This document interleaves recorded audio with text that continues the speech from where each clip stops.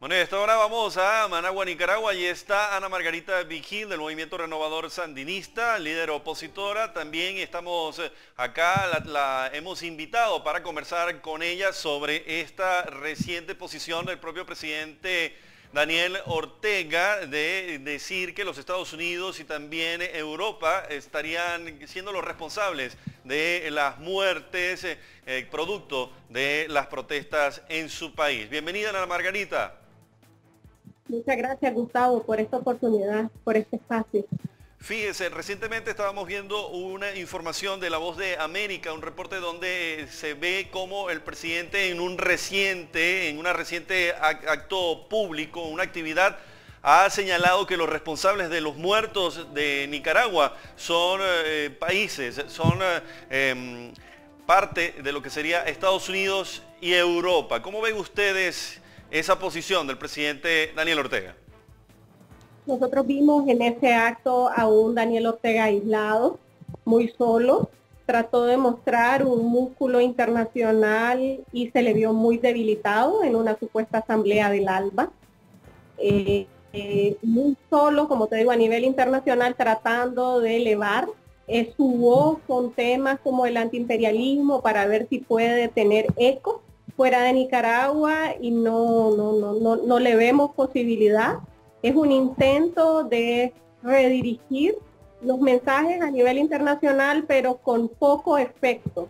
Realmente fue un acto en donde se le vio muy debilitado a nivel nacional y a nivel internacional. Daniel Ortega es el responsable de los asesinatos en Nicaragua. Daniel Ortega es el responsable de que tengamos más de 500 presos políticos y eso lo sabemos los nicaragüenses y lo sabe el mundo, gracias a los múltiples informes de organizaciones de derechos humanos, gracias a las denuncias de la iglesia, gracias al trabajo que se está haciendo a través de la Organización de Estados Americanos y el grupo de trabajo.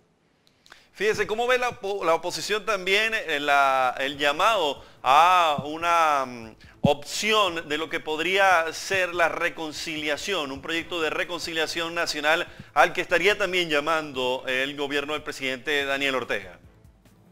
Incoherente la llamada reconciliación mientras nos atacan, mientras nos reprime, mientras hay policías armados en este momento en distintas partes de la ciudad para evitar que saquemos una bandera azul y blanco o gritemos el nombre de un preso político. Es incoherente que llame a la reconciliación cuando todos los días hay secuestros de nicaragüenses por el mero hecho de pensar distinto. Eh, no pasa de la retórica y eso lo, lo vemos claramente en el día a día en su actuar.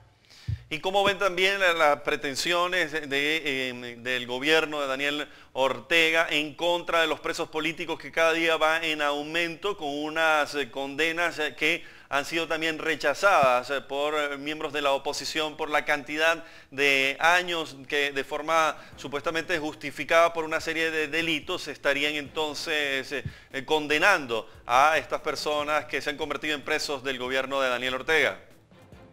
Hay más de 500 personas que fueron secuestradas ilegalmente sin orden de captura, que han llevado juicios amañados y en cuanto Daniel Ortega se vaya, lo primero que se va a hacer es revisar y anular esos juicios y esas personas van a quedar en libertad.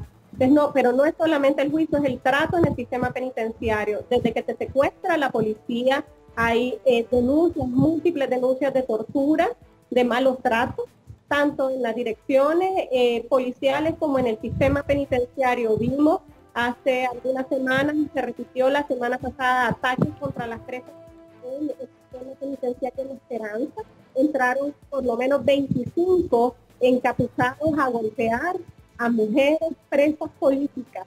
Tenemos denuncias de mujeres que fueron, eh, que perdieron la conciencia en ese momento. Doña Brenda Muñoz, que además sufre de cáncer, terminó inconsciente dos horas por la ocasionaron eh, eh, en ocasión. Tenemos estas políticas que logré como Olesia Muñoz, que tiene los dientes flojos de los golpes que le dieron. Tenemos las denuncias familiares que están diciendo que están internando las pocas que hay para que no haya luz y no haya ventilación en las cárceles en donde están nuestras hermanas tres políticas. Pues no es solamente los juicios,